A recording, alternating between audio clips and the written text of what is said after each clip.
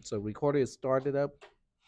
I was reading an article over the weekend. I think it's from Forbes magazine, and uh, the author was trying to figure out you know, why the new AI product is called Q Star, and that was an interesting read. And you might ask, so what does that have anything to do with this class? As it turns out, you know, the Q Star, you know, mechanism might have something to do with the A Star algorithm that you are that your homework assignment that's due today is about. And then there's also a, a, learning method called the Q learning method. So you can look it up to Q learning algorithm. And there you have it. There's a Q learning um, method. So the whole star thing is about you know um, using a heuristic, and you can also see you know how you are how we refer to states. So an a state is basically a vertex from our perspective. An action is kind of like an arc. It's kind of like a like an edge from our perspective, not quite exactly the same. So at any state, you have a set of actions. Um, executing an action is in a specific state provides an agent with a reward, which is a numerical score. You can look at that as kind of the distance. Okay, so every edge carries a certain number associated with it the goal of the agent is to maximize his total reward. So you're basically, instead of minimizing the, the distance of the path, you're trying to maximize. But the concept is still the same. We are optimizing. It does this by adding the maximum reward attainable from future states to the reward for achieving its current state, effectively influencing the current action by the potential future reward, blah, blah, blah, blah, blah. But it is a related problem. Okay, if you think about it, this is a related problem and this also relates to Markov you know, decision process, um, which is basically it's there's a certain probability issue involved in all the actions. So when you take a certain action, there is a certain probability distribution of what state you can end up with, and that's kind of the Markov you know, decision process. All of this stuff here is related to the A star algorithm, which is basically a algorithm in what we call an entire classification of state space search. And all of this stuff here is very interesting to me. I know to you guys it's like, I have no idea why you know tech is so you know jazzed up about all this. So I'm gonna show you. Okay, you know, you don't have to understand this, but it is something. It's a full cycle, full circle for me. Uh, so if you look at my name and look up um, admissible heuristic search, okay, um, is actually admissible heuristic search, and there's also a one word that I'm missing, uh, stochastic. Stochastic. The more obscure word you have, you know, in your dissertation, the easier it is to find it. Um, and it is okay. Let me just add one more thing: dissertation. All right, so that should find it somewhere. Nope. Darn it. I guess I'm not nearly as famous as I thought I was. um, admissible. Admissible. Okay, does that help? Nope. All right, fine. If you look up my name in the Los, Rio, Los Rios district, you will find a link to it. Okay, there we go. Los Rios tag. Oh, yeah. Okay, let's see if that works. All right, because I updated my, um, what do you call this, biography, and there's a link to it. So I think I put the link somewhere here. Yep, there we go. All right. There we go. It was just recently that they um, digitized my dissertation, which was basically all printed.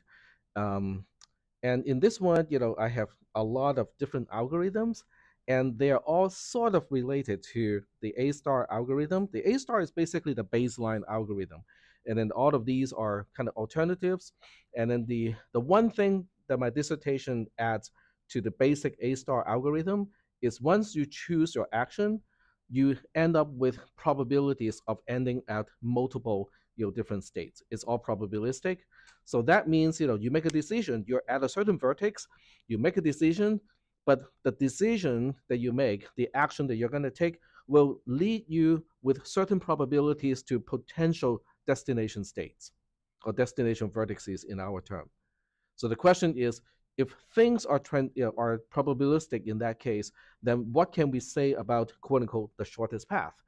Because you know, even if you try to go to the you know a certain destination state, you know, based on what you know already, you can still end up in a loop, just probabilistically speaking. So how do you describe the shortest path in this case?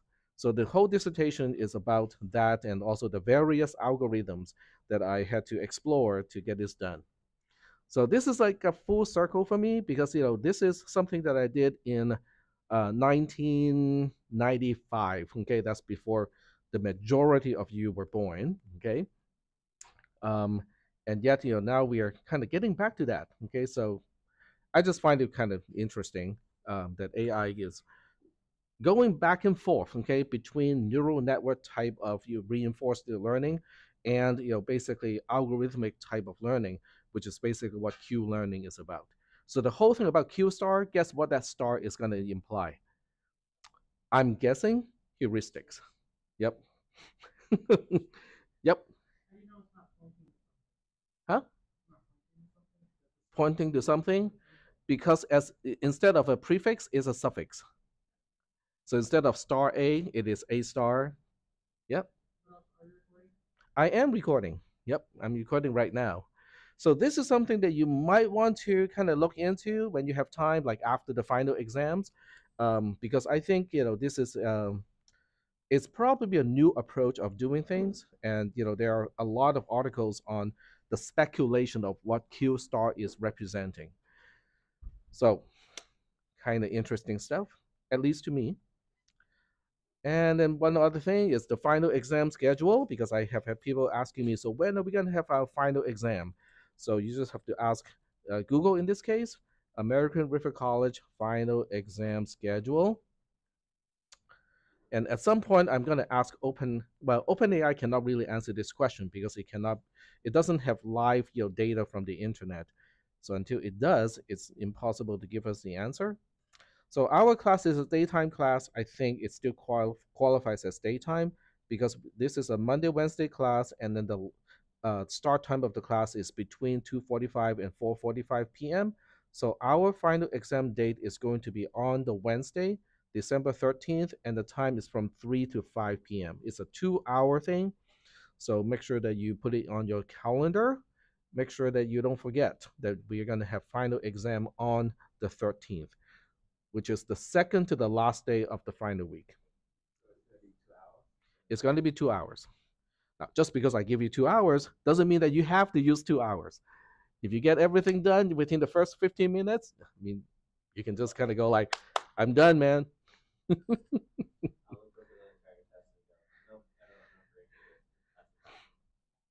can we use can we use OpenAI? Can can we go to Chat GPT? I think uh, yeah open book, open notes, you know, same same kind of format. Yeah. So I will give you the exam from spring 2023, like last semester, um, probably sometime next Monday or Wednesday latest. Uh, so this way you have an idea of you know what I asked or how I asked the question last semester. Yes.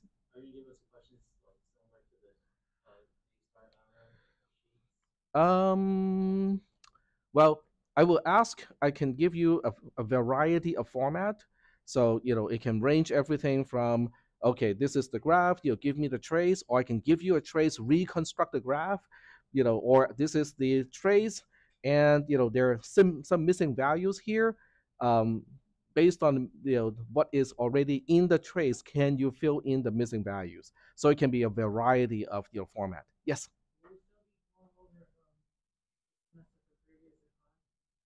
Say that one more time.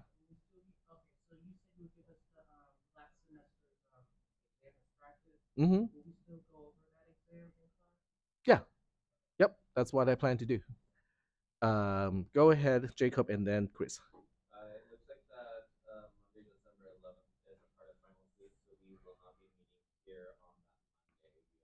That is correct. So as far as classes are concerned, we have today, this Wednesday, next Monday, and then next Wednesday. That's it. So to including today's class, we only got four four more sessions. Go ahead, Chris.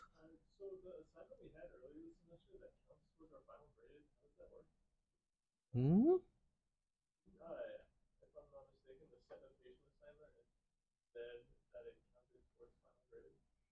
It, yes. So all the homework assignments, everything other than exam one, exam two, and the final exam, they all fall into the homework category.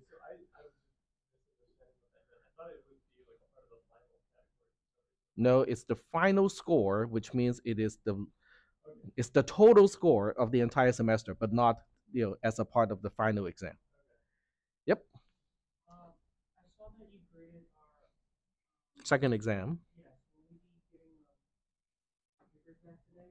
Um, I don't have the paper with me, but for those of you who cannot wait to get your you know exam back, I can send you the PDF because like this time I actually scanned everything and I did all the markup you know on the paper on the not paper but on the PDFs.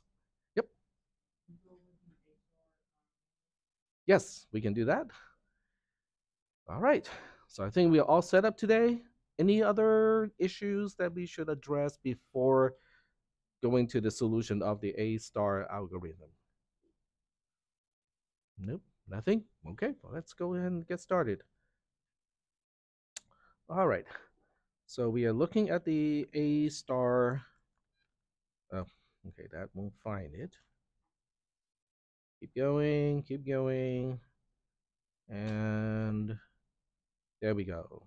So the application of the A star algorithm, this is your homework assignment. And the way I did this, you know, okay, so let me first go to Google Sheets on the new tab.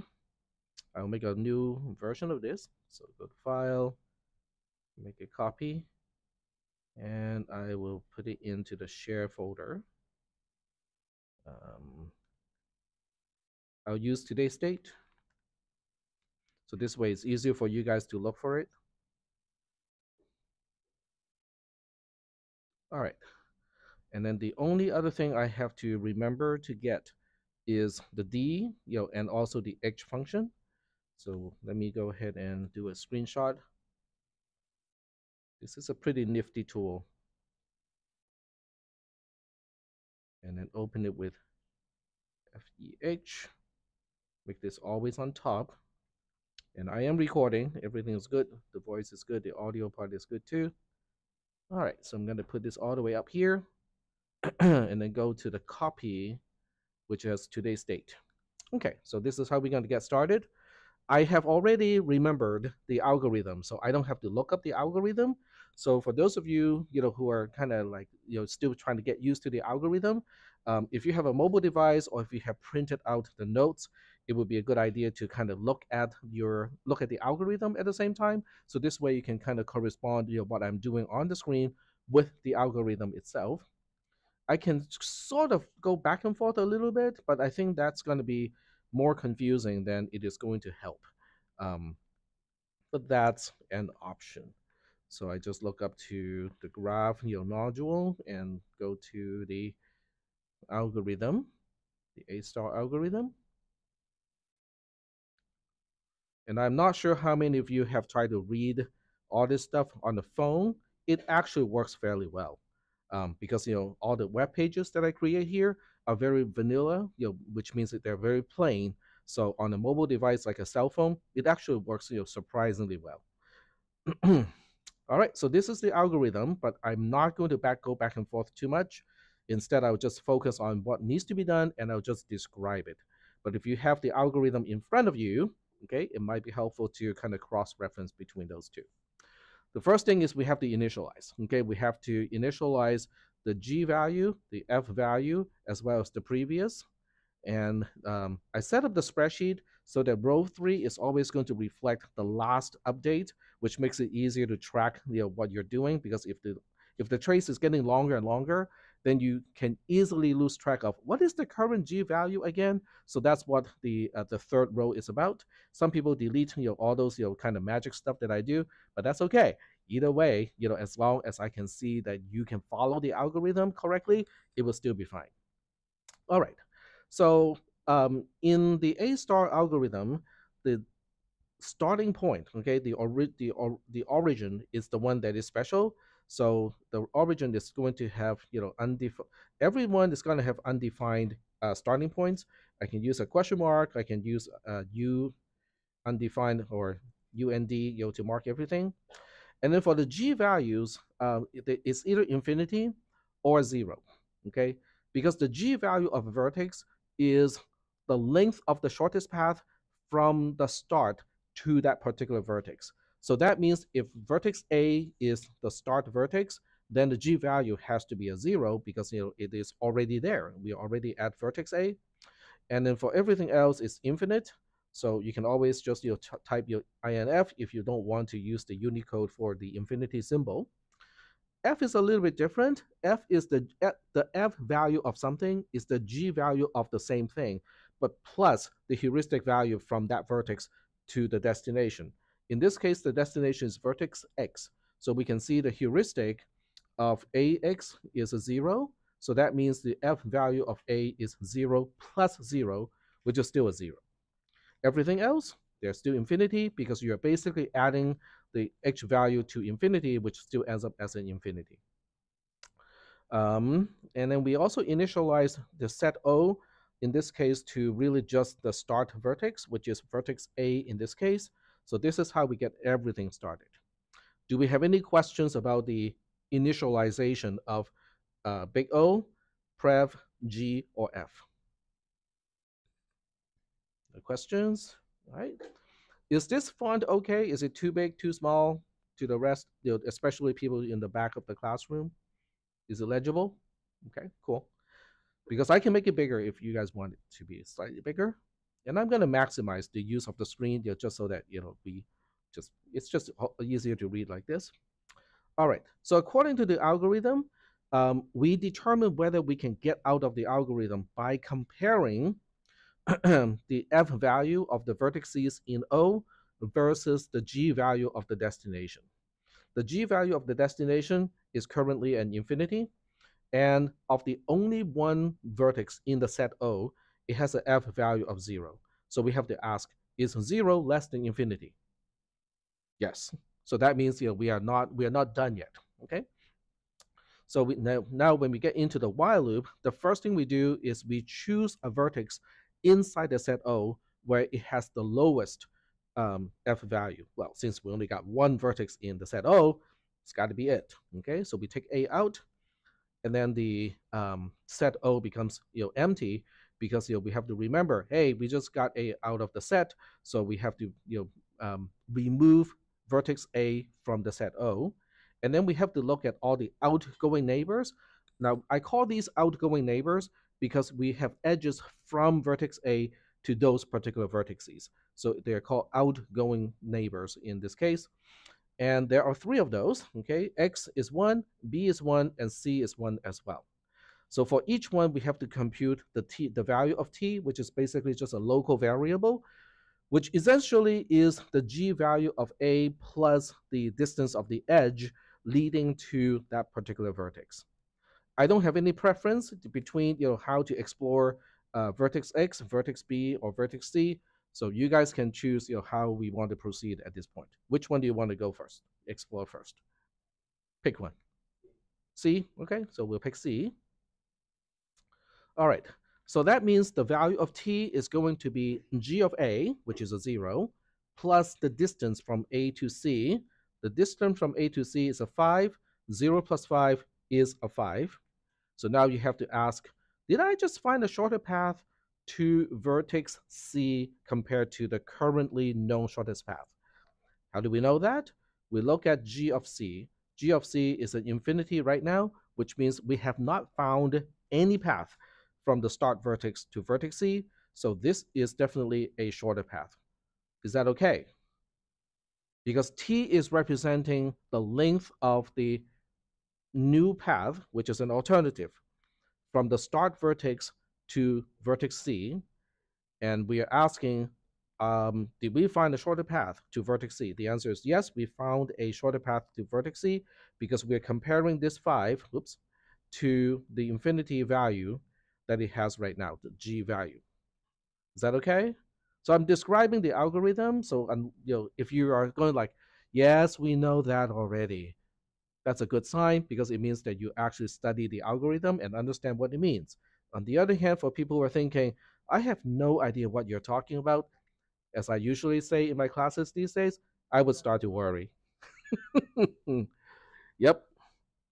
All right. So now we go like, yep, we have to update. So we got a few things to update.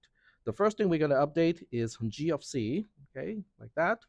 And then the next thing we have to update is f of c. f of c is always g of c plus the heuristic to go from c to x, which is our destination. And we just have to look up here. Uh, the heuristic to go from c to x is a 0. So 5 plus 0 is still a 5. So we put a 5 here as well. We also have to update the previous. So we were basically saying, in order to get to c as quickly as possible or with the least distance, the currently known alternative is to start with A. Okay, so come from A to get to C. So the previous of C becomes A. And then at the same time, we also have to add C to the set because you know, we are now saying, oh, we just updated the G value of C. So that might, you know, for, you know that might be used as a hint for other vertices you know, to connect from the start vertex to some other vertices downstream and find a shorter path to those other vertices. So that's why we're adding vertex C to O, and that finishes the update for um, being C. Are we okay here or not? Okay. So now, uh, which other one do you want to choose? We can choose between X versus B. Pick one. B, okay, so we can choose B. All right, so with B, uh, once again, we have to compute t first, which is g of a, which is still a zero, plus the distance from a to b. The distance from a to b is a three, zero plus 3 is a 3. So now we update this to a 3, and then we have to compare this with g of b, because g of b is representing the length of the shortest path from the start vertex to vertex b up to this point, and t is representing the length of an alternate path to vertex b from the starting point, which is a. And we can see that, huh, okay, looks like we found a shorter path. So let's update it. So we are going into the then portion of the conditional statement, which updates you know, g of b to a 3, which is t. And then we also have to update um, f of b. f of b is g of b plus the heuristic from b to x, which is a 4, 3 plus 4 is a 7. We update the previous. The quickest, the quickest way to get to B is from A. So we update this to A also. And now that we have updated the G value of B, we also have to add B to the set O. And now O has C and B in it. So now we don't have a choice because of the three outgoing neighbors from vertex A, X is the only one that we have not explored yet. So we explore x. Uh, once again, we compute the t value, which is g of a plus the edge leading from a to x. That has a distance of 10. So now you know, t is 10. Did we just find a shorter path to the destination? Yep, because we did not know any path at all. Now we have a path. So now we update your g of x to be 10. And then from uh, the heuristic from the destination to itself is always 0 because this cannot be an overestimate. So it always has to be zero in that case. And in order to get to the destination, we also want to start from vertex A. So the previous of x is going to update to an A. And because we just updated the g value of x, we also have to add x to the set of O. In other words, other than the initialization and other than how we um, handle the h value, the destination is not treated in any special way. It is just a vertex in the algorithm. All right, so now we have gone through the first iteration through the while loop. Do we have any questions? Questions? Yep, go ahead. So the previous column, Okay, which uh, column eight? the previous, You mean column seven? No, like, like general question. Okay, general question. Okay, go ahead. Um, so when C A is at neighboring vertices, right, is C, B, and F, and the frequency of those always gonna be A. So is a case that Are you asking why we update all the previous two A's over here? like I know why it's A Mm-hmm. because A shortest path, Okay. uh, and Yeah, go ahead. Take your time. okay, I got it. Hmm? So, so the way I did it because the way I did it previous for this assignment, I Mhm. got the C and then I since the C is A, I put the previous is A for every one of them. So is there any case that the previous is not? But you may not end up updating anything. So in other words, I think if I understand you correctly, you are saying that you know, since you know, this is A, you automatically put A into these spots. But the answer is you cannot always do that because we only get to modify the previous of you know these vertices B, C, and X only because the condition of the conditional statement turns out to be true. In other words, okay, let, let me switch to the algorithm. This is where you know, being able to display the algorithm on the side can be helpful. And I think I got enough space on the screen to do that. Let me just kind of do this. Uh, move tab to new window and then turn this one to uh, unmaximize and then resize this one. Um, yep, okay, that might fit.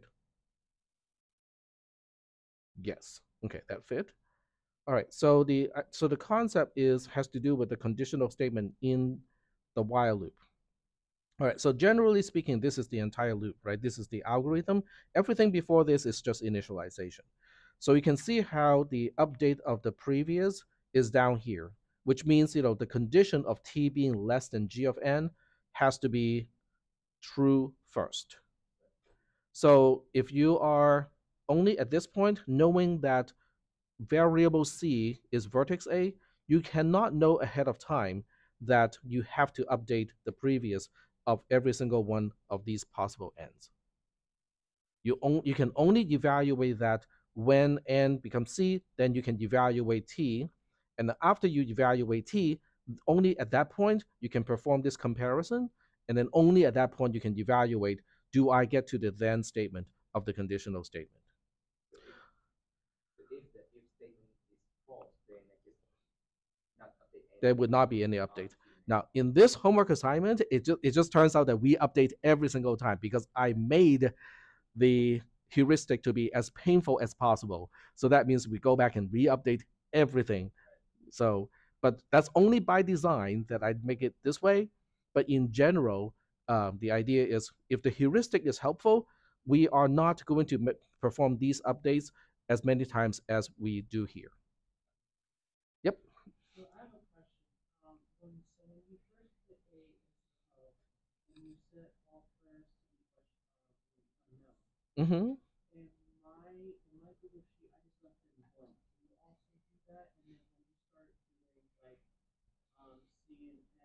Mm-hmm. You can sort of do that, you know, but I still want to see the unknown. You know, I'm not going to take a whole lot of points off, if any, um, if you do not say that. But because the initialization process did specify the previous of v for every single vertex v is supposed to be undefined, so we want to kind of denote you know, undefined in the trace too. Because uninitialized does not mean it is undefined. Undefined is a very definite thing to say that, yep, this is a very specific value that is called undefined. Yep. But that's okay if you leave it blank. You know, I can understand that it's just you know uninitialized. So there's a difference between a variable that is uninitialized versus a variable that is that's initialized with an undefined value. Now I know this is like totally nonsense to most of you because you programmed in what C++ and Java for the most part.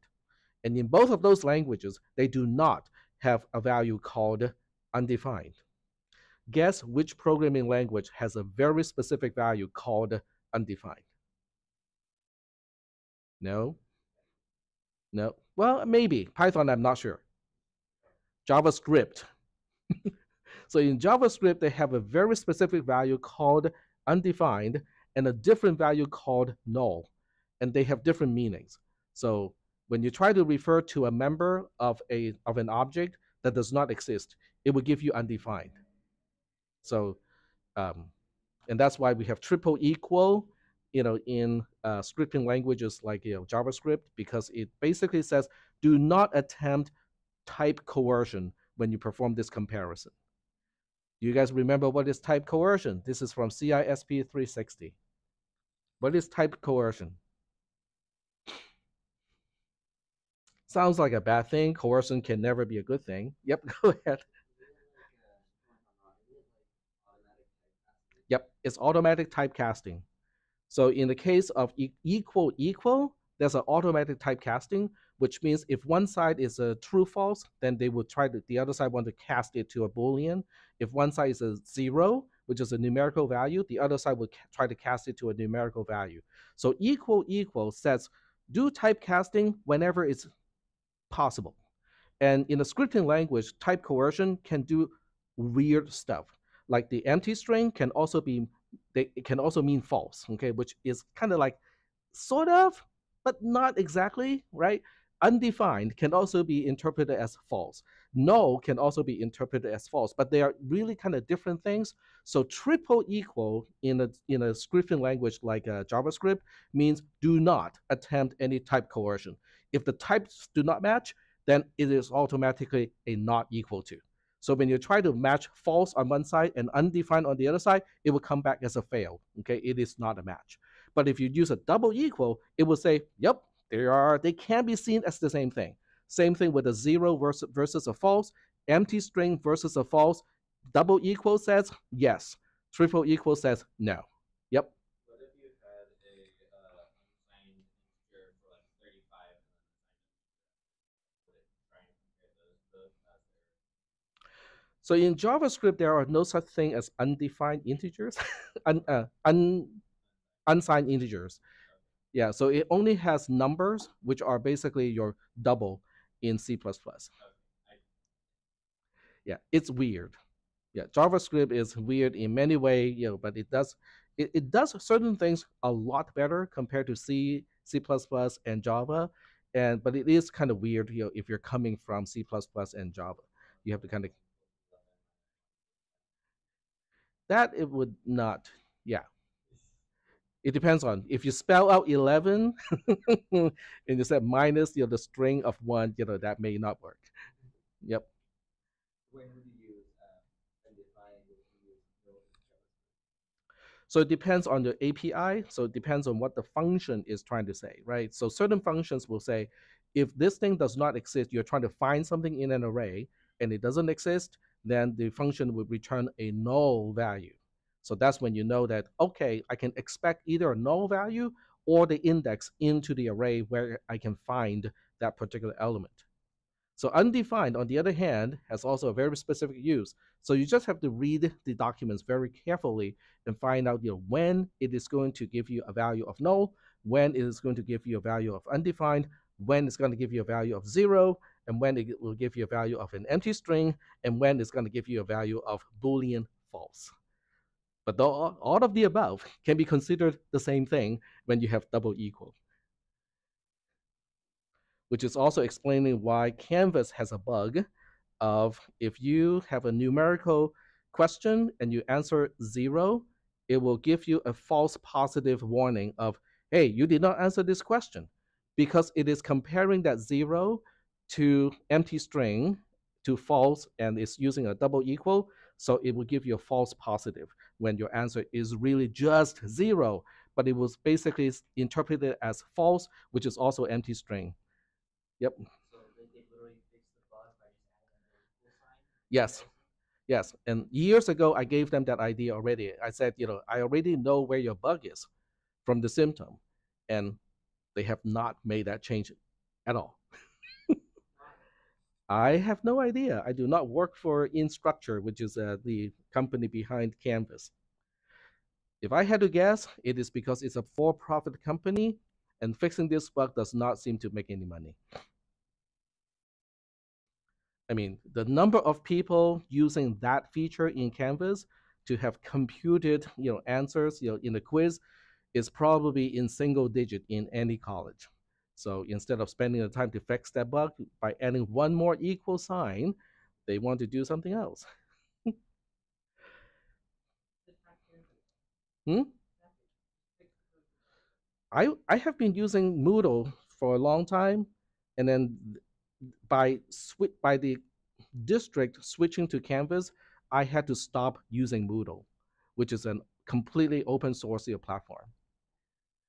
But it's a, an agreement. It's a long story. I have my own conspiracy theory about it, but it does not belong to this class.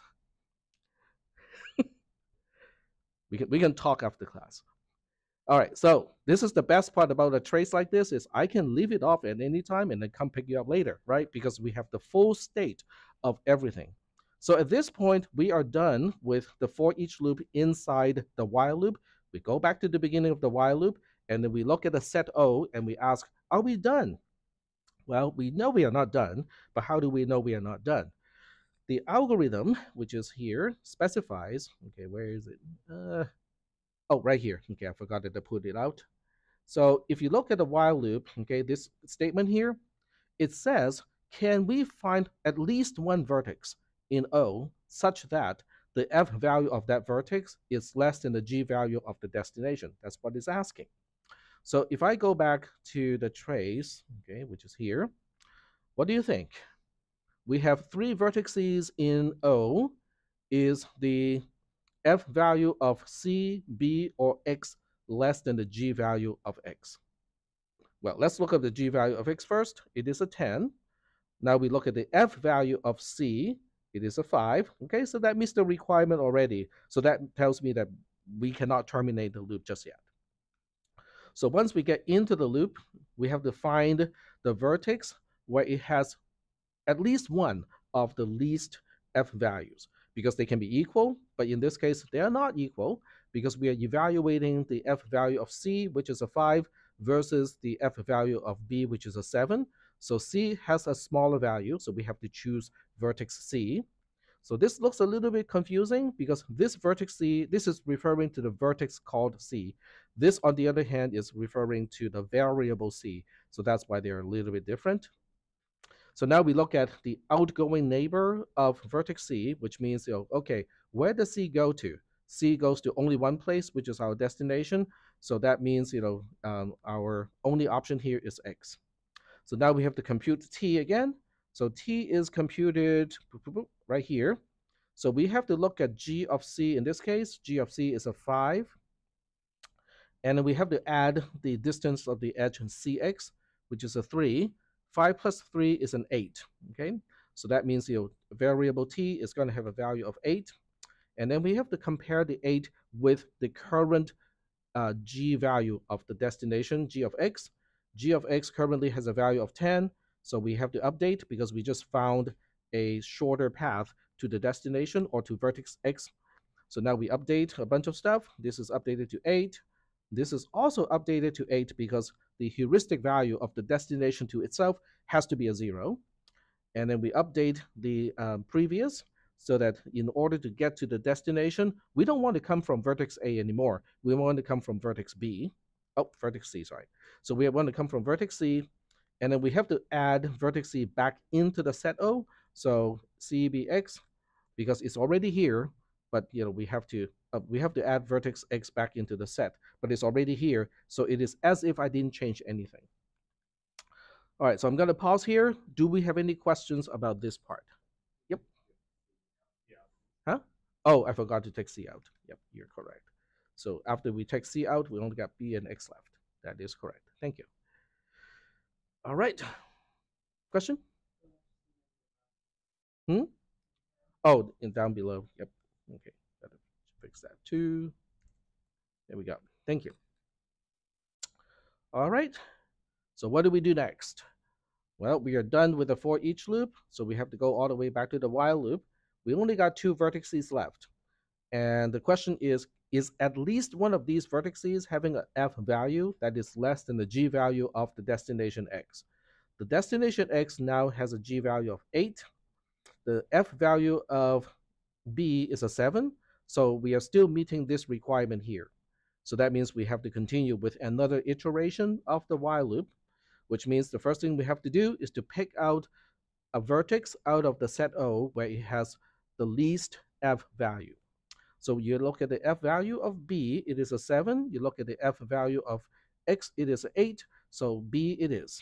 So we choose b, and this time I forget to update here o. And now we have to look at the outgoing neighbors of b. So when you look up the edges, the only outgoing of outgoing edge of B is to go to vertex C. So that means you know, we have to uh, put C over here. And now we have to compute the value of T, which is the G value of B. The G value of B is a 3 plus the distance of the edge BC. So we are looking at what? 3 plus 1, which is a 4. So we have a 4 here.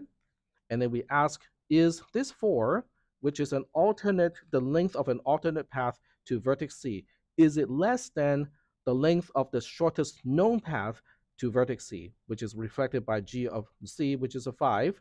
So you can now see why your row 3 can be very handy because it just shows me the latest value.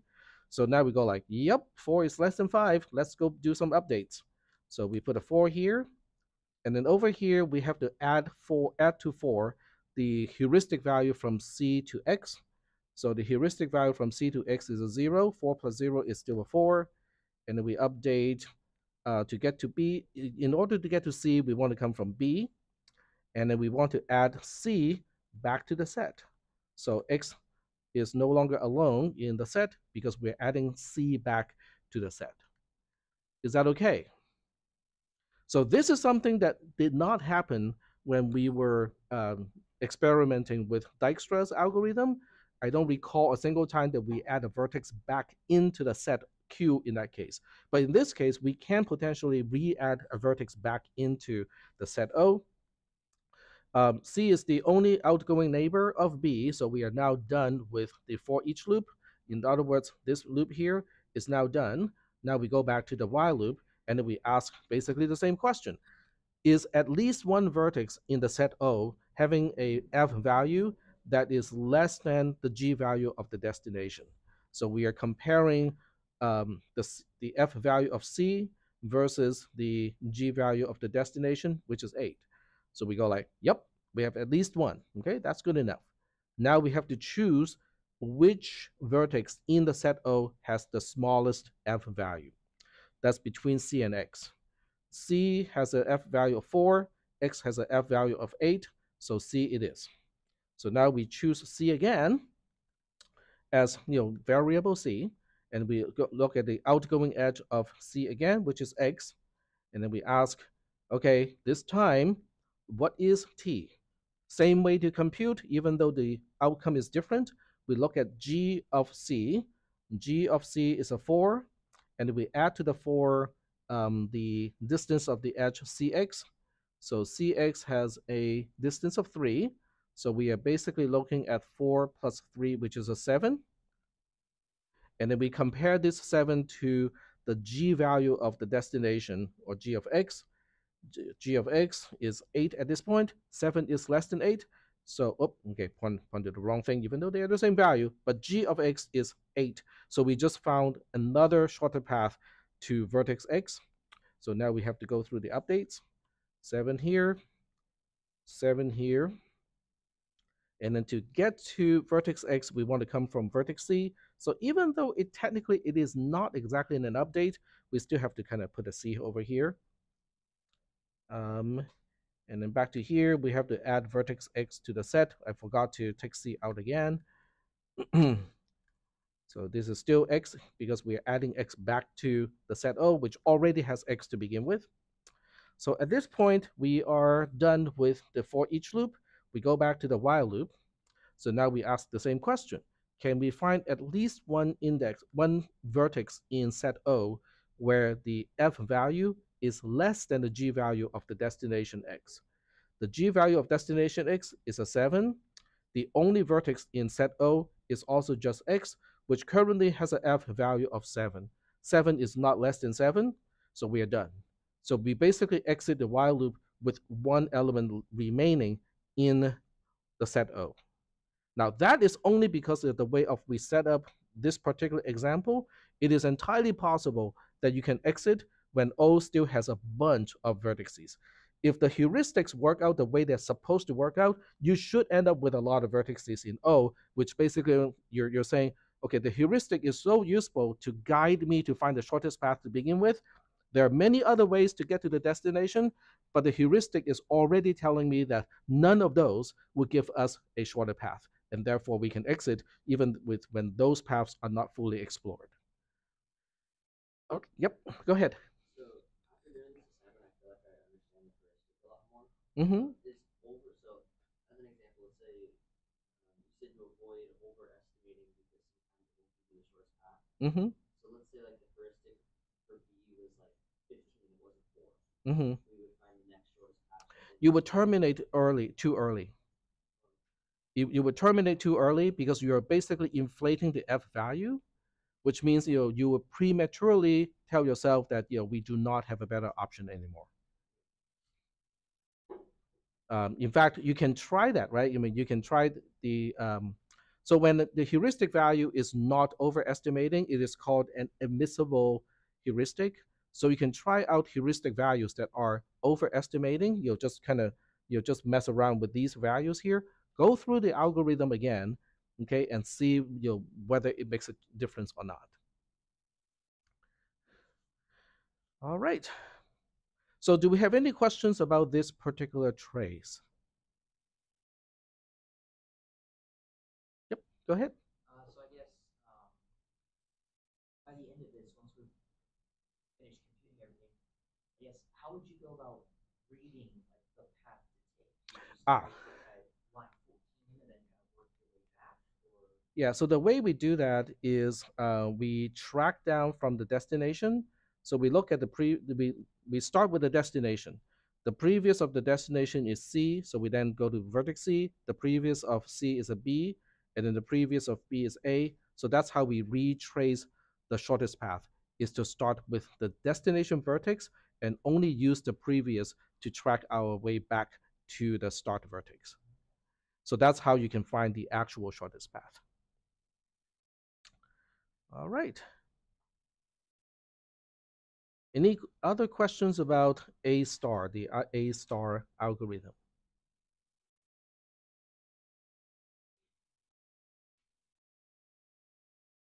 No questions? All right. If there are no questions, then we are going to proceed to talk more about graphs. And this time we are combining that with predicate calculus. Okay, so how do we find the length of the shortest path from a certain vertex to another vertex? That's what we are asking. Okay, so let me put this back into this tab here. and I'll close this window here because it's not needed anymore. And then we get to Swish. And let me look up which window we have. Okay, this is the right one. I thought about turning this into a homework assignment, and then I thought, maybe not, because you know we have only talked about you know Prolog for one single class, and we haven't really really talked about the syntax or how to use uh, a declarative programming style. So I just decided against that idea of giving you this homework assignment, you know, of you know come up, coming up with the program to find the, the length of the shortest path. So instead of doing that, I'm explaining a program that's already done. Okay, so we'll go ahead and take a look at this one and then try to figure out what it is trying to do.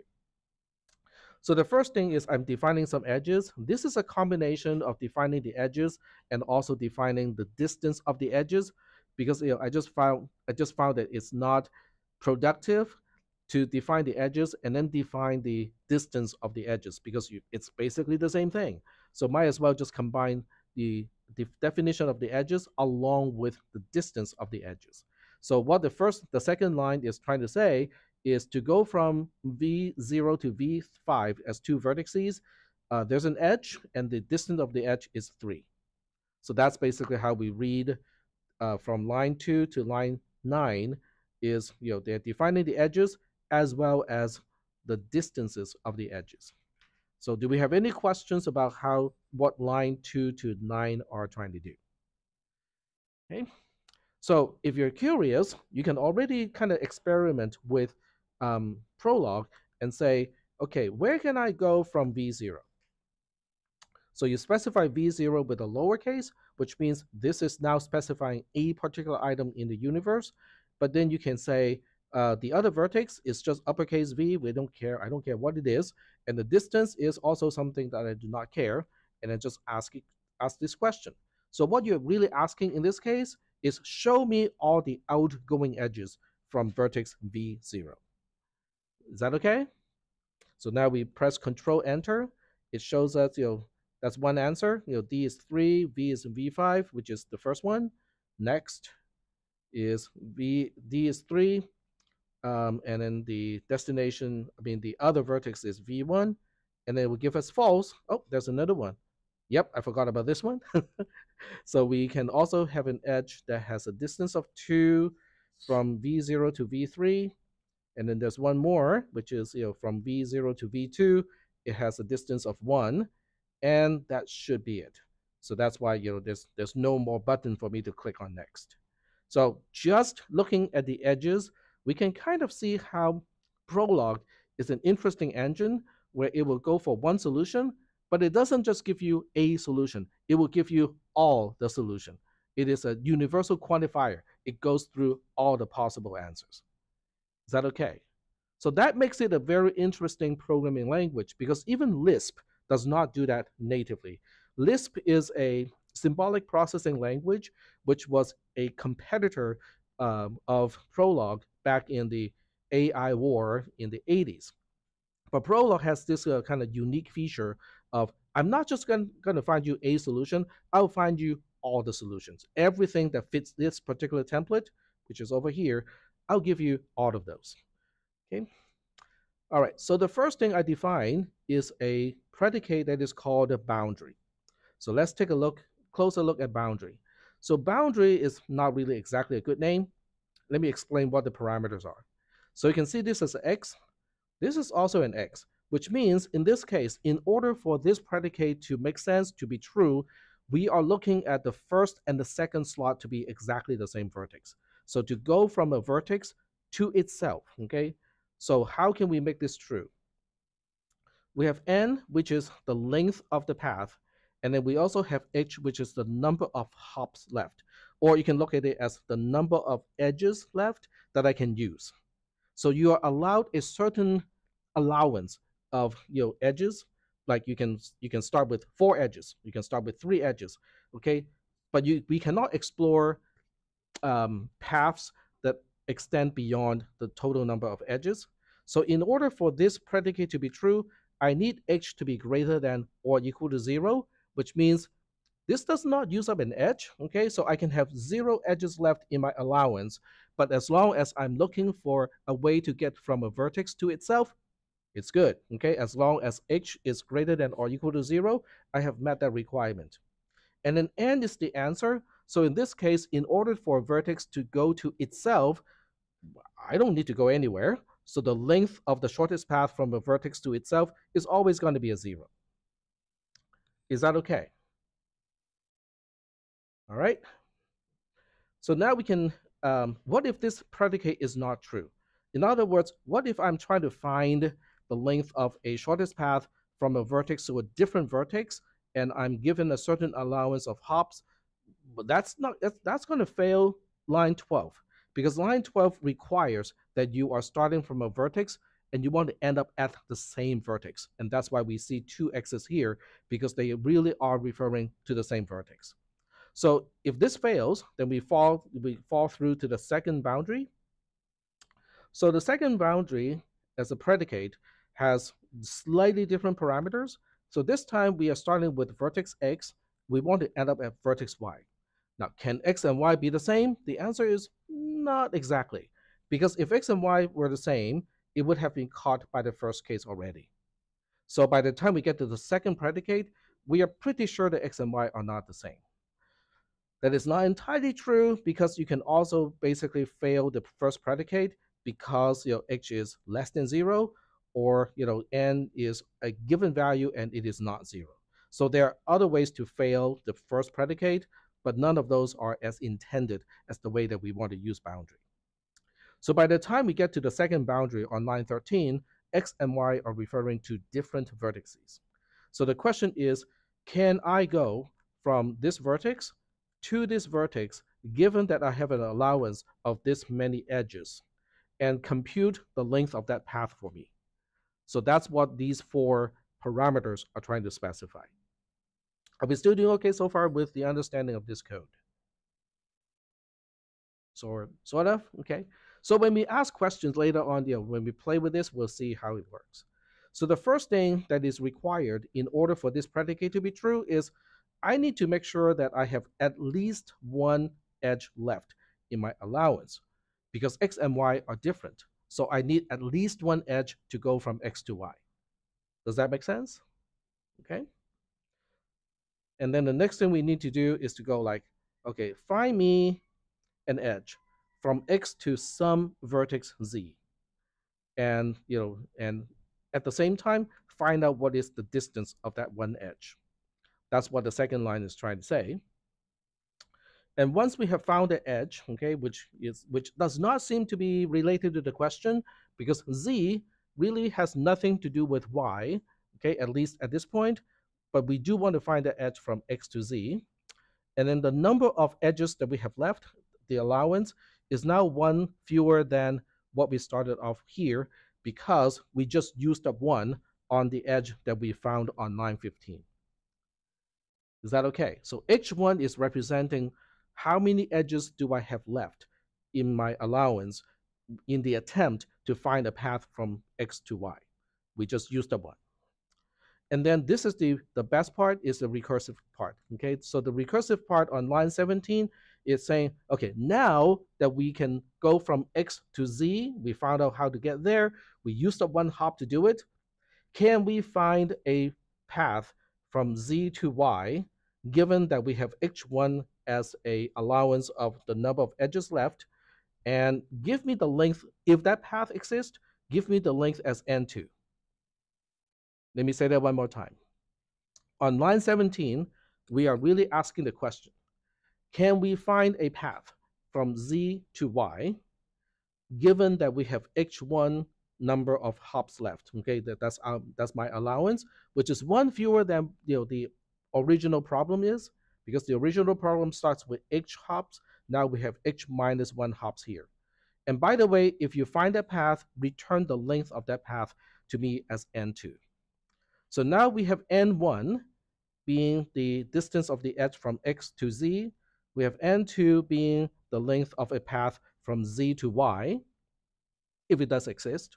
So by the time we get to line 18, it means all the previous conditions have been met already. What does that mean? Well, it means exactly what I just said. h is greater than 0. We found an edge from x to z with, an, with a distance of n1 h1 is h minus 1. Okay, that's something that I make happen. And we also found a path from z to y using only up to h1 hops. And the actual length of that path is n2. So that means, oh, that means that I have just found a path from x to y. The length of that path is now n1 plus n2 because n1 is the length is the is the distance of the edge that we found earlier n2 is the length of the path from z to y.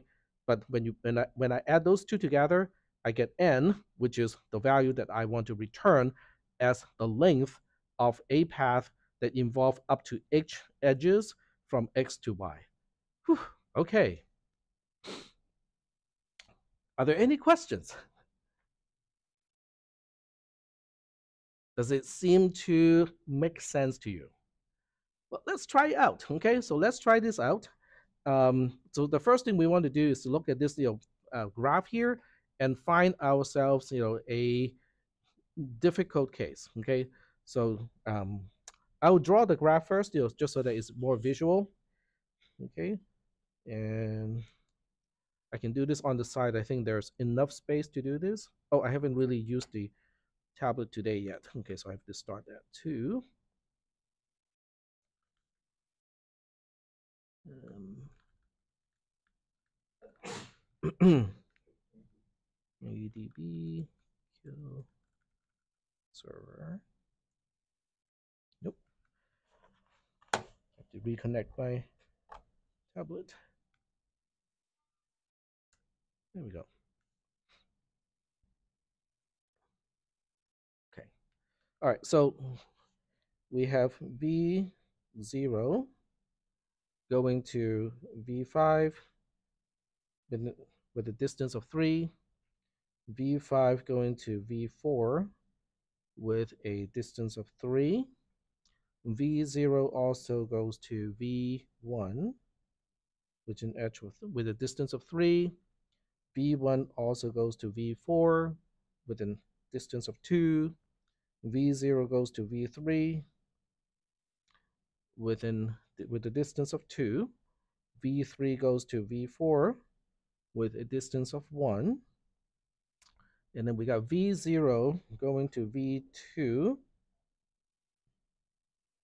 with a distance of 1, and then V2 is going back to V0 with a distance of 1. So we do have a loop here, okay, which is kind of interesting because the algorithm itself has no ability to detect loops. So instead of detecting loops and go like, hey, we, we, we saw this already, it is using the hop approach to say, okay, whatever path we are trying to find, do not exceed this many edges along the way. Now, technically speaking, I cannot call these paths anymore because a path cannot have a repeating vertex, but you know, so they're called, cannot remember the technical term of that. Instead of a path, it is called a, it's not a route. Okay, now I have to look it up because the use of precise term is important here. So I have to look up path with repeating vertex in a graph.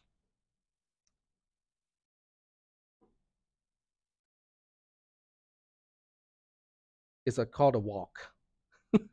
so a walk is um, a tuple of vertices where there are edges between adjacent vertices, but they can repeat. You can basically go through loops in a walk, but a path cannot have a loop. So the technical term to refer to the program that we were looking at is it is they are not paths, they are walks. All right. So what was I about to do? Test it, right? Okay, so we want to look at the graph first. Okay, so we this is the graph that we have. And let's say we want to get to V2 in one single hop. Okay, so the program should be able to tell us, nah, not going to happen, right? So let's try that. Because when you look at this graph here, this is V0, which is where I want to start. And this is V4. And you can see there are no path here that can be accomplished by, by one single edge. So now we go back to the algorithm and then we ask boundary. I want to go from V0 to V4. Tell me what n is, which is the length of that path or that walk, okay? And I want to only do it, I want to accomplish this at the most using one single edge. Control enter, comes back and say, nope, not gonna happen. I cannot find any way to go from V0 to V4 with only one single edge in that walk. Okay? And go like, okay, fine, let's see if we can do it in two edges. And there are a few ways, okay? So when you increase that to two, it will give you multiple answers. The first one is a six, a five, a three, and then we are done. Why are there three possible answers? Let's take a look at the graph again. So 3 plus 3 is a 6. 3 plus 2 is a 5. 2 plus 1 is a 3. So it gave me all the possible answers. It did not just say, oh, we found one you walk and I'm done.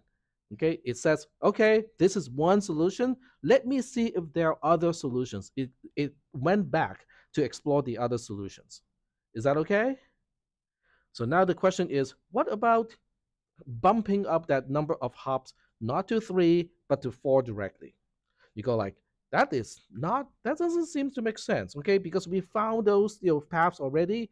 So what type of answer can this give me that we have not seen before? Remember the four, this four here is an upper bound. It basically says I have an allowance of up to using up to four edges. I don't have to use all four edges.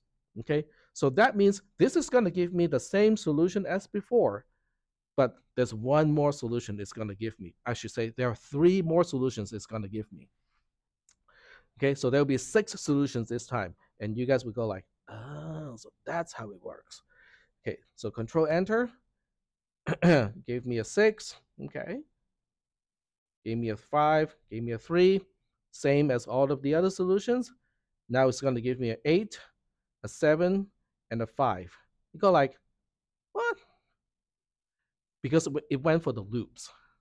Okay, so if I were to go back to this picture, what it did this time was to say, well, since I have four edges to spend, okay, I'm going to do this. Start with this, go to here, back to myself, then here, then here.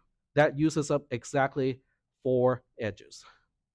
In other words, it will give you the length of all the walks, not paths, all the walks that can use up to four edges, including going through loops. Is that okay? So this is not A star.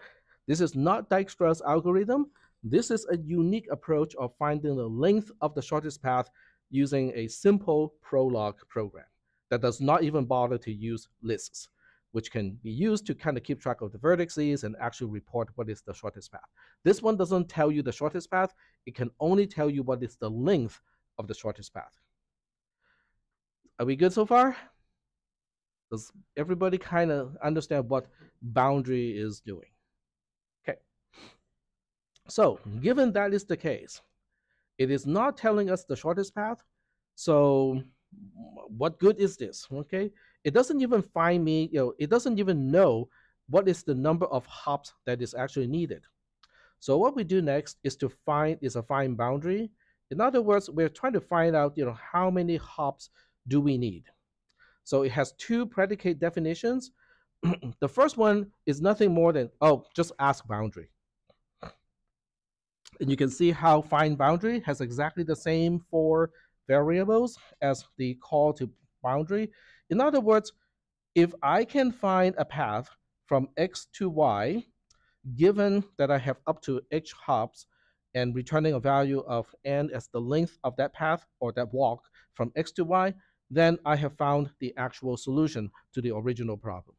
Okay, that doesn't seem very interesting, right? But what if this fails? In other words, I did not give it enough hops. I did not give it enough out allowance of edges. They go like, Fine, I'm giving you one more now. So the way Prolog evaluates the predicate is it will always go from top to bottom. If the first one fails, it falls onto the second one. If the second one fails, it falls onto the third one, and so on. Is that okay? So let me just say that one more time. Find boundary as a collection of predicates is basically saying, try to find me the minimum number of hops that are needed in order to go from X to Y. That's basically what it's trying to say. So how do we test this? So the way we test this is say find boundary here. And this time I will start with a zero. In other words, try your best with zero allowance. You cannot use a single edge, okay, to go from V0 to V4. You, go, uh, you guys are like, that is not possible. Well, it's going to find out what is the minimum. What is the min minimum number that we need here? Oh, okay. Control Enter, not just Enter. Control Enter. It finds me that um, there's a uh, answer of six. Now this will never end, okay? Because it it will exhaust everything that would need only two edges, and then move on to three edges, four edges, and that's why we see the 8, 7, and the 5. Five edges, which will give us exactly the same thing as before. And now we move on to six edges, which means we'll see 6, 5, 3, 8, 7, 5, and then 10, 9, and a 7 because it goes through the, the loop twice this time to use up all the allowances. Okay, so this will never end. Okay, this will never stop unless I say stop here. You go like, okay, that doesn't seem to be very useful. Um, it doesn't even know which path is the shortest. So I, I make another predicate in this case. It's called path bound. So path bound itself has two predicates. The first predicate is basically, so this time L is representing a limit in terms of the length. It is no longer a limit based on the number of edges. L is an allowance based on the length of the path. It's like, do not exceed this much, okay? So what path bound is really asking is, I can let you, I want to go from X to Y. I allow you to use, um, the upper bound is L, but it's not inclusive, okay? In other words, do not get to L. Okay, anything less than L is fine. If the length of the path is less than L, I consider that a success. But if it's at least L, it's a failure. Okay, N is the actual length of the path that I find. So in other words, L is an upper bound of the length of the path that I can find. N is the actual length of the path that I'm finding. So in this case, you know, the way it works is, um, first of all, if x and y are not the same, then you know this does not have the ability to find a path from a vertex to itself because I think who wants to find a path from a vertex to itself with a with a boundary like this? It just doesn't make sense. Okay, so it, it wants to use at least one edge going from x to y, and use up you know d as a distance. So as long as d is less than now, this less than is important. We cannot have less than or equal to. It has to be less than because L is an upper bound, but it's an exclusive upper bound. In other words, it cannot be L. It can be anything less than L. So D has to be less than L. And in that case, I would go like, okay, we just found a path from X to Y with a length of D. And you know, that's how we reflect back. That's how we return the value of the length of the path. So the first um, path bound is going to give me a trivial path where the two vertices are connected by one single edge. The second one is recursive. In other words, if the first one fails, in other words, I cannot get from x to y using a single edge and having that edge to have a distance less than L, it's going to fail the first one, then will fall onto the second one. So the second one is the recursive one, which is basically saying, okay, we need L to be at least zero, because if L is less than zero, then I really have no place to go, no place to go. Now this really should be greater than and not greater than or equal to zero, because if it if it's zero, we are guaranteed to fail, because we know this the edge, the distance of an edge cannot be negative. So this really should be greater than and not greater than or equal to, but it would just fail later, you know, which is okay. It's not wrong, it's just inefficient. So it goes through the same thing, it finds an edge, but this time it's not finding an edge from x to y, it's finding an intermediate vertex z with a length with a distance of n1. So this is resembling the little bit of boundary that we saw earlier. And then they figure out, okay, so since we have used up n1 of the allowance already, so the new allowance is going to be L1, which is L minus n1, because I have used up n1 from the original allowance of L. Is that okay? And now it goes recursively it says, okay, now that our new upper bound is L1, see if you can find a path from Z to Y, or walk, I should say. Let's see if we can find a walk from Z to Y with an exclusive upper bound of L1 and report back the actual length of that path as N2. So this predicate on line 36 will fail if it, it, if it cannot find a path like that, find, cannot find a walk like that. So by the time we get to line 37, it means that we have found a walk that satisfies the boundary of L1, that, and that particular walk is going to go from Z to Y, and the actual length of that walk is N2. So by the time we get to line 37, it means all of the previous lines have been quote unquote true. So at that point, I can say, oh, okay, so that means I have just found myself a walk from x to y but the length of that walk is going to be n1 plus n2. n1 being the edge from x to z, n2 is the length of the walk from z to y. Are we going to, are we, yeah. So like six, you say it's walk, not a path anymore. Could you explain that again? So like like thirty six, you said It really should be path. Yeah, both of these should be named uh, walk and not path anymore because we don't have the restriction. We don't have the ability to find out whether we are repeating a vertex. So both of these should be walks. I mean, the name should be changed. so let me change all of those. You know, just so, just so that it's consistent, right? So I don't re use a term that is not correct. So are we? so why is it walk? Hmm? So why is it? It is not a path. It is walk because the same vertex can be visited again. Okay, let me let me go back to the picture because you know that will show you. So if I have a walk from V0 to V2 back to V0, then V5, then to V4, it is not a path anymore because the vertices V0 and V2, uh, I should say V0 appear twice. Okay, let me let me just kind of write that out here.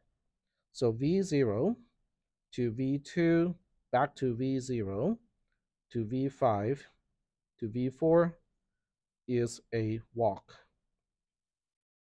but not a path.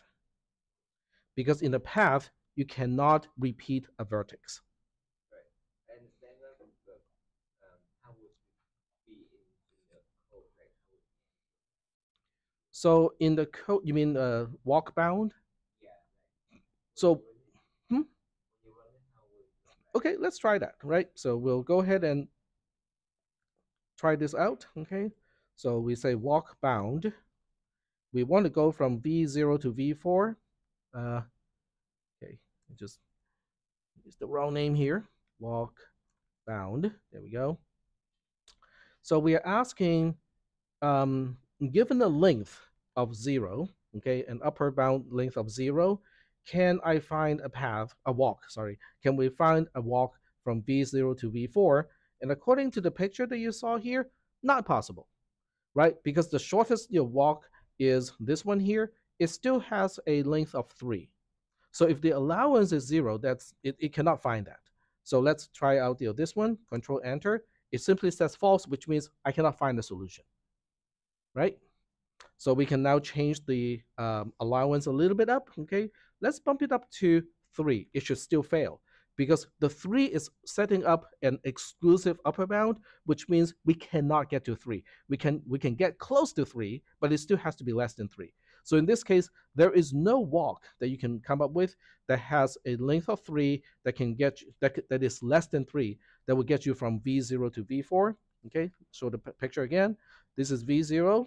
The shortest one is going through V3 to V4. That would still be using three, but that three here is an exclusive upper bound, which means we cannot be three. It can be anything less than three. So that means control enter. This is still returning a false. Okay, took a little bit of time, but it turns me false.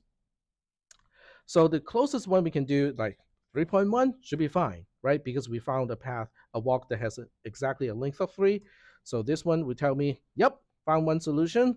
But the next one is going to be false because we cannot find any other solution that has a walk that has a length that is less than 3.1. Are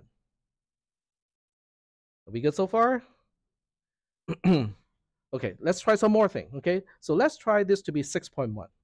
So if this is 6.1, then we would have found a few ways to get there. Okay, um, and it would it would have repeating numbers, and I'll explain the repeating numbers too. So the first one is six. Okay, the second one is five, and then it will find the three, and then it will find five again. and that's it. Why does it find three, five again? If you look at the graph, the first one they found is this one. This is a walk from V0 to V5 to V4. That's the six. the second one is from V0 to V1 to V4. That's the first five. Then find V0 to V3 to V4. That's the that's the three. But the upper bound is a 6.1. So the next one is is is finding is v0 to v2, back to v0, go to v3, go to v4. That is the second five. It found all the walks that has a length that is less than 6.1 in this case. Is that okay? All right, so getting back to the code here, we have basically now two mechanisms.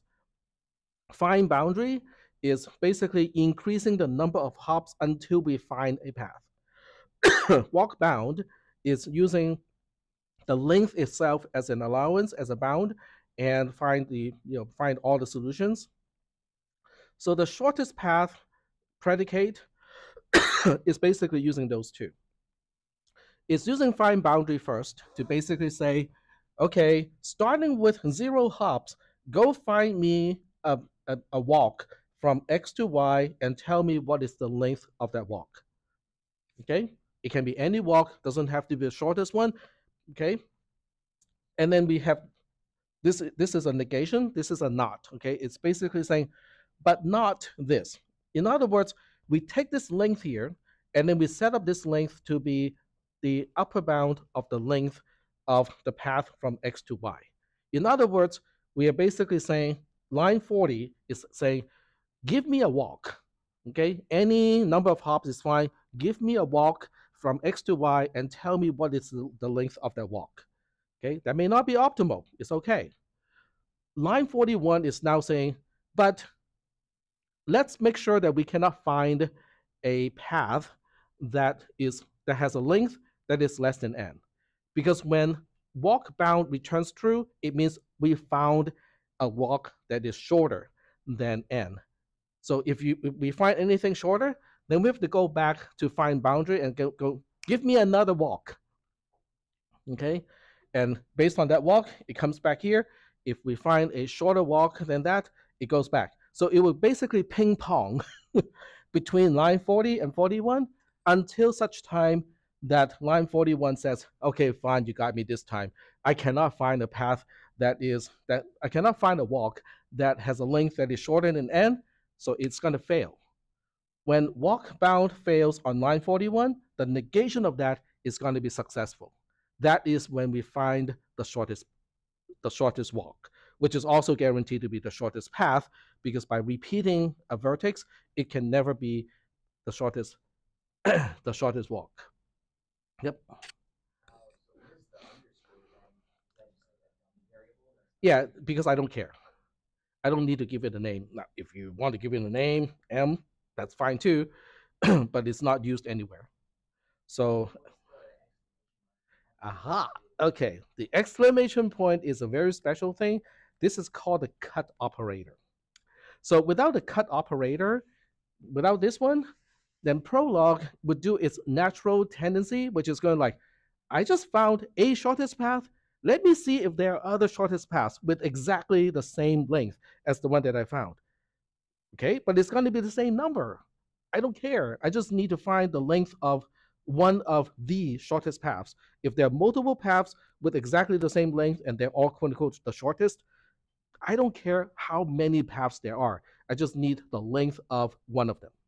So that's why we have a cut operator here to basically go like, don't do the thing to find everything possible because we are good now. So that's the cut operator. Without the cut operator, the program will still work. It's just that it's going to take a lot longer to come to the conclusion because it will basically give you the same answer, the n, it will give you the same number multiple times if there are indeed multiple shortest paths. But that's not uh, that's not necessary because that's not the point of this algorithm. So the cut operator is not you can leave it out, okay? The algorithm will simply go back and look for alternative shortest paths, which is not wrong, it's just unnecessary in this case. All right, so we want to watch this work at least once. I know we are a little bit over time. And trust me, the district will not charge you extra money for all these extra time. Okay, shortest path, V0 to V4, and we'll give it n here, which is representing the length of the path. So control enter, it will do its computation, and it just gives you a single answer of three, which basically means the length of the shortest walk, which is also, also the shortest path here, is three. But it doesn't give you the path itself, it can only track the length of that path. Now, earlier I said this has to be a path, I lied. Because you can make it a walk too. All you have to do is to go do this part here.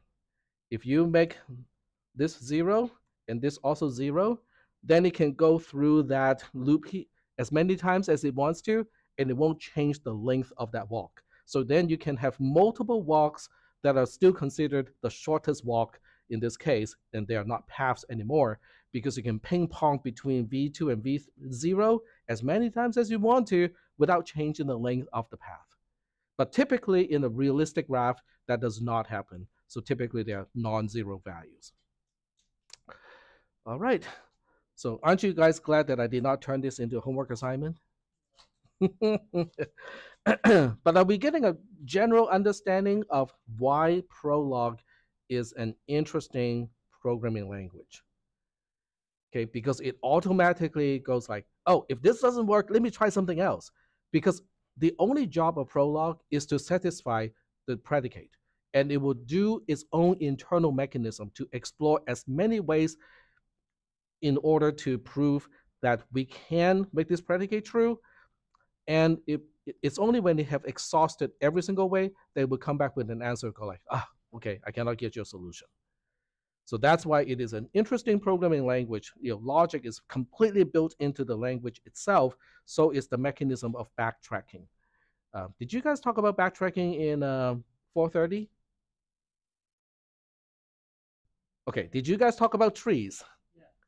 Okay, so when you have a tree and you get to a leaf node, and then when you go back up, that's backtracking. Yeah, so backtracking is almost built into most algorithms that have to do with a traversal of a tree. All right, but it's built into Prolog. Okay, we are over time, so I'm gonna let you guys go. I'll see you guys on Wednesday. And then next week, I'll give you guys, I can give you the practice test early too, I mean, so you guys have a chance to work on those. So we'll do that on Wednesday, maybe. All right, have a nice day. See you guys on Wednesday. And I can share this code too if anyone is interested. Yep, give me a second to pause, stop the